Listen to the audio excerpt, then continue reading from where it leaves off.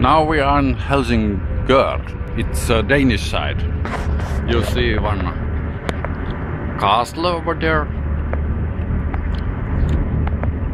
Yeah, nice castle. And there we have Swedish side is over there, flag over to Danish.